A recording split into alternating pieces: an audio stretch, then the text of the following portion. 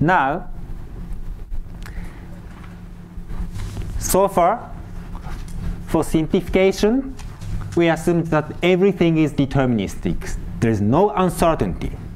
In other words, we are implicitly, we are we were explicitly assuming that consumers have the perfect foresight about what the future dividends will be like, what the future consumption will be like. Okay, but in reality, of course, there is some uncertainty. We are not 100% sure about the evolution of future dividends. We are not 100% sure about future GDP. Okay? So it's good if we can incorporate such uncertainty into the model.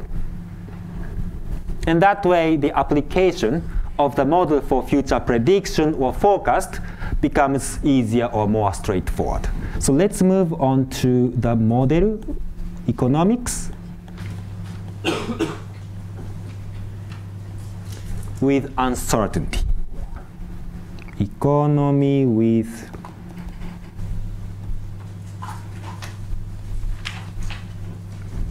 uncertainty.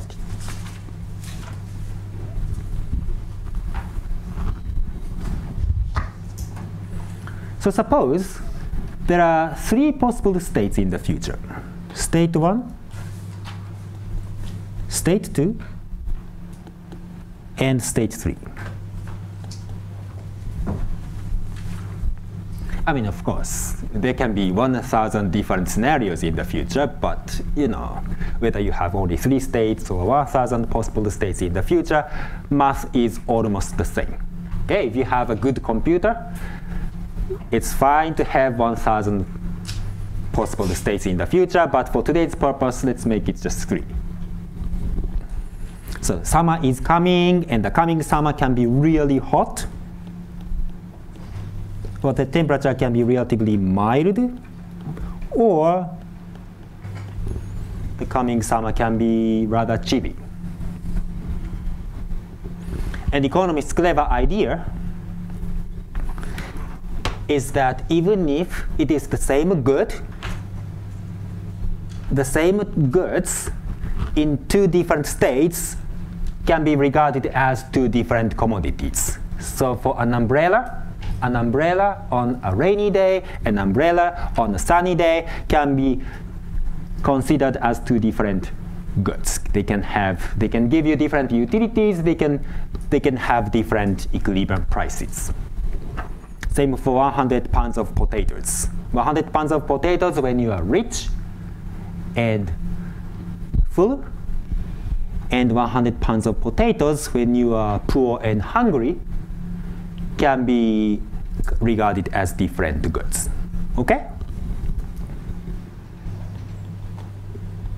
They can have different prices. So let's denote the price of the state 1 potato, P1,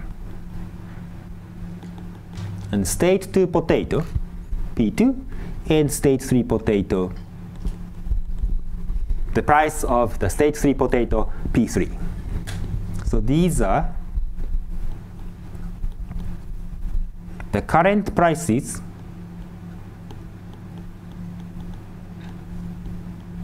of one unit of state contingent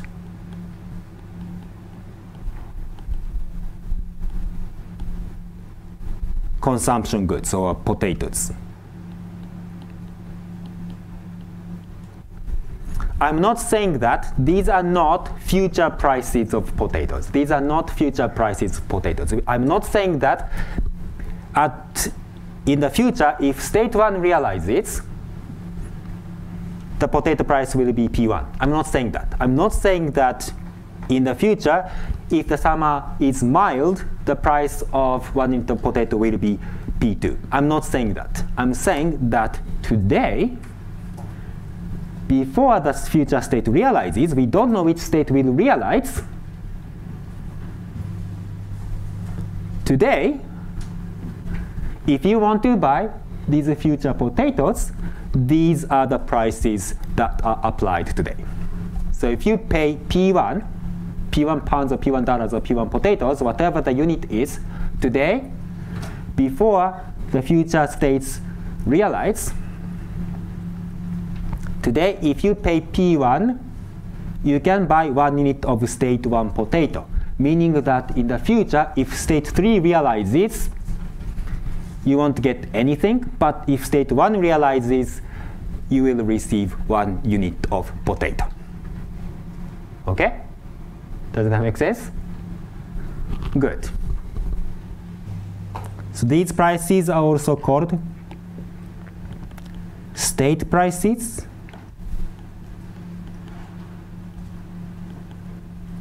Yeah, it's like future future prices, right? Forward forward prices, no forward not forward prices. Um, no, you pay this much P1. If state 1 realizes, you get one unit of potato. You pay P3 today. If state 3 realizes, you will get one unit of potato. Okay? And these are called state prices, or they are also called Arrow-Debreu prices. Names after two Nobel laureates, Kenneth Arrow and uh, Debreu.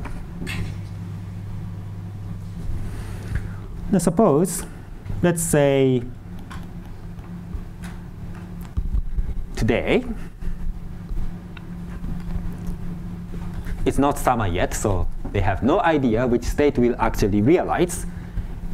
And here's, here is Jack, the beer seller.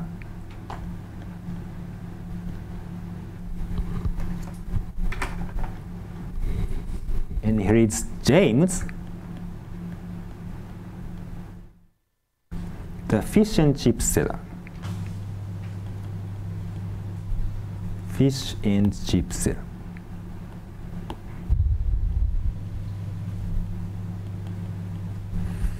And Jack knows that he doesn't know which state will, will realize, but he knows that if state 1 realizes, the summer will be hot and uh, he can sell a lot of beer so his income will be as high as 100. He will have 100 potatoes if state 1 realizes. He knows that if state 2 realizes, the temperature is relatively will be mild and the beer doesn't sell as much, he will have only 30 units of income, 30 potatoes. If state 3 realizes, the summer will be chilly and he will have only very little income, only 10 potatoes. James, on the other hand, knows that if state 1 realizes the summer is too hot, people don't buy much uh, fish and chips, and his income will be only 10. He will have only 10 potatoes, I mean consumption goods, in, date, uh, in state 1. If, if state 2 realizes, his income will be higher, and if state 3 realizes, he will have 100 units of consumption goods. As it is, it is a little risky. I mean, having 100 potatoes in state 1 would be great if state 1 actually realizes, but ex ante, before knowing which state will realize, this is far from ideal. Now what they can do is to trade. The Jack, Jack says, Hi James, why don't we trade? I'll give you 50 units of potatoes if state 1 realizes. You give me 60 potatoes if state 3 realizes. And this exchange rate, of course, depends on the current prices of these future state contingent goods. Yeah? So far so good? Now, you can see that this is, the math is exactly the same as, you know, exchanging apples and bananas and coconuts. Same math as in exchanging apples and bananas. But they sound a little different. It sounds more like, but sounds more like, you know, betting or mutual insurance. Yeah? Bet or insurance.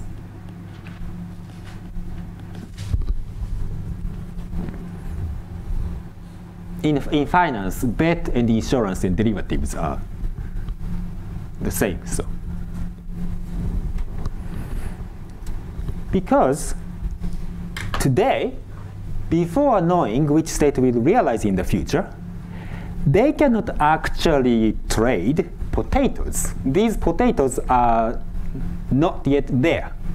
What they are actually trading is some uh, securities or promise. So in this trade, Jack issues some piece of documentation which says I, Jack, will give or pay one unit of consumption good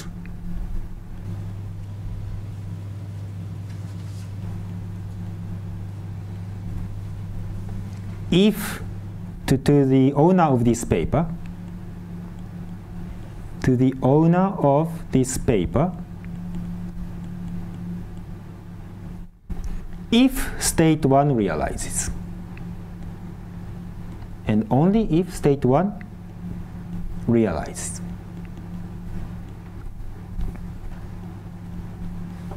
with his signature and basically he is issuing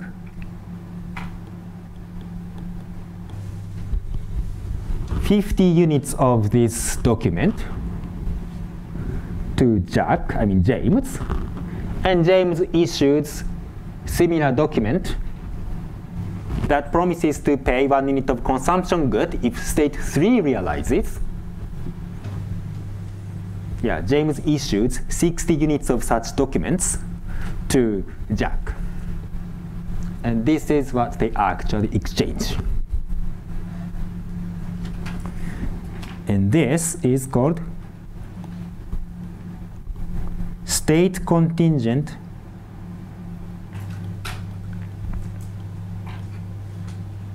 state contingent good or state contingent claim.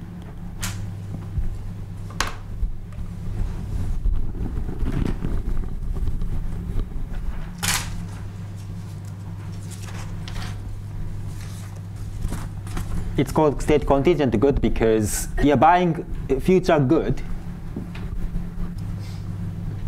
but whether you can actually have this good or not depends on which state will actually realize in the future. So far so good? Now, if we know the prices of future goods, P1, P2, P3 for state 1, state 2, and state 3.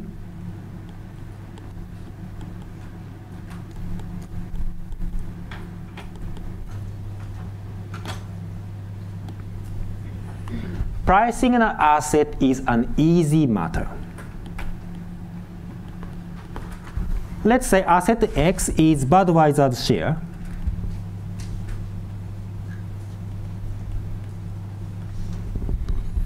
And let's say if state 1 realizes summer is hot and the payoff, the value of the share is one, will be 100. If state 2 realizes, the value will be 30. And if state 3 realizes, then the payoff, the value of this share will be 10. What's the price of this share? What's the current price of this share? The idea is that an asset is a basket of future consumption goods that the asset promises to pay. And as such, the price, current price,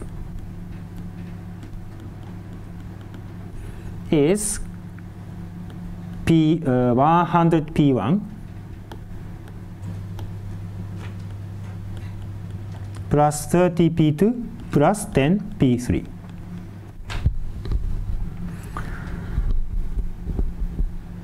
What about call option? Call option for this share of Budweiser with strike price equal to 20. Remember, for the call option, the payoff of, the, of a call option at the expiration date is either zero or the price of the underlying asset minus the strike price.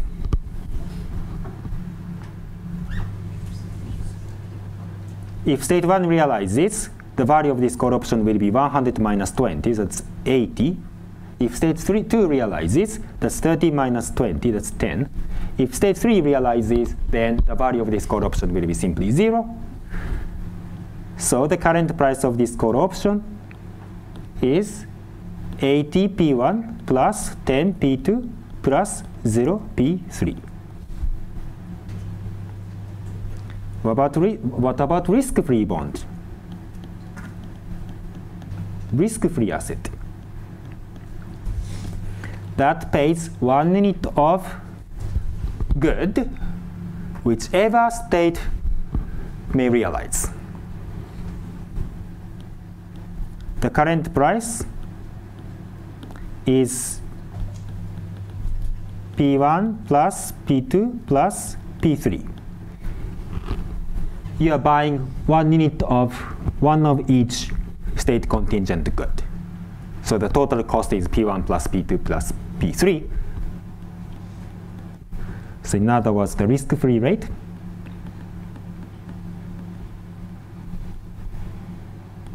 is the inverse. I mean, you can, you can subtract one. If you subtract one, it's called net risk-free rate. If you don't subtract one, then it's called gross gross rate. Okay, it's not a big deal. In general,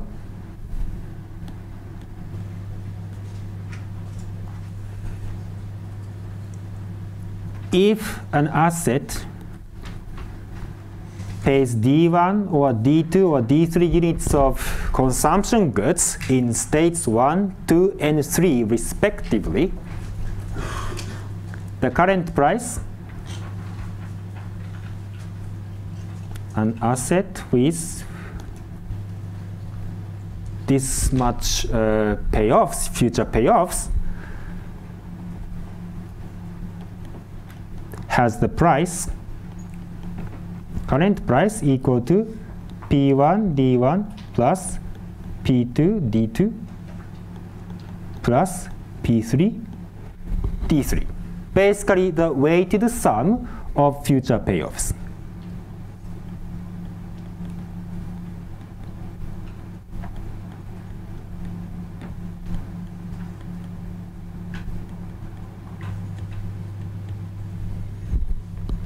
here the weights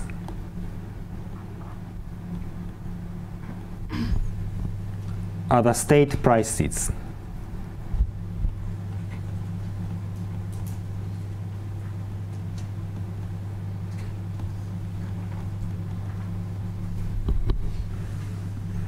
Now, the weights do not sum up to 1 here. Weights do not necessarily sum up to 1. So we can modify this by dividing and multiplying, multiplying and dividing by P, P1 plus P2 plus P3. So this is equal to P1 plus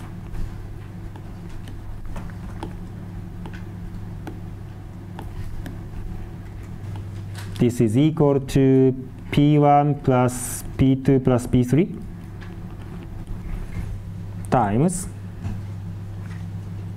P1 over P1 plus P2 plus P3 times D1 plus P2 over P1 plus P2 plus P3 times D2 plus P3 over P1 plus P2 plus P3 D3. I mean, I just divided by the sum of the state prices, and at the same time multiplied the sum of the state prices. So this first expression and the second expression are exactly, exactly identical. And after doing that, if we, if we call these parts Q1 and Q2 and Q3, they sum up to 1. And they are called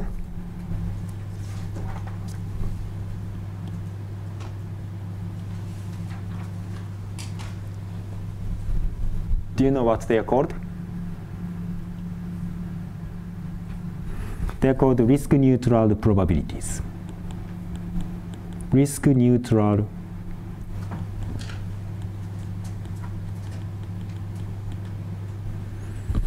They are called probabilities. They have nothing to do with actual probabilities. But they are called probabilities because they satisfy all math, math, mathematical features of probabilities. They are always non-negative. They always sum up to 1. They satisfy product rule and summation rule of probabilities. So they are non-negative. They sum up to 1. So they are called risk-neutral probabilities probabilities, they are called risk neutral because it seems like, you know, this is asset price, right? And asset price is, if they were actually probabilities, they are not, but if they were actually probabilities, it seems like the asset price is equal to the expected value of future payoff discounted by the risk-free rate. Discounted by sorry discounted by risk-free rate yeah.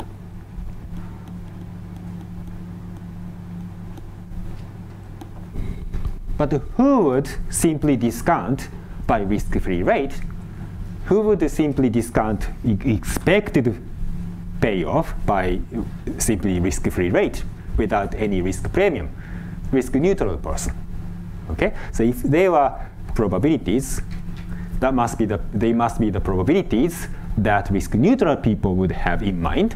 So they are called risk neutral probabilities, but again, they have nothing to do with actual likelihood of these future states. They are called probabilities because they satisfy mathematical conditions of probabilities. Yeah.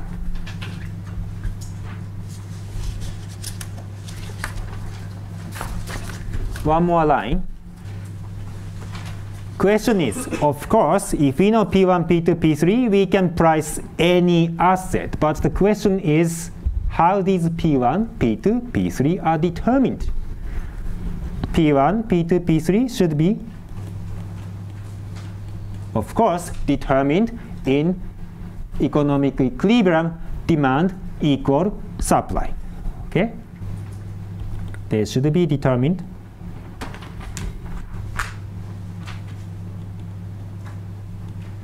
by economic equilibrium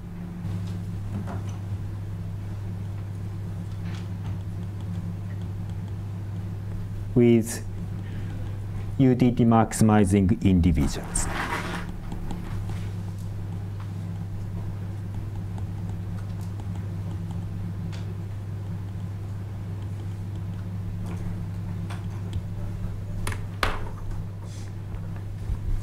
Okay, so let's continue uh, next week.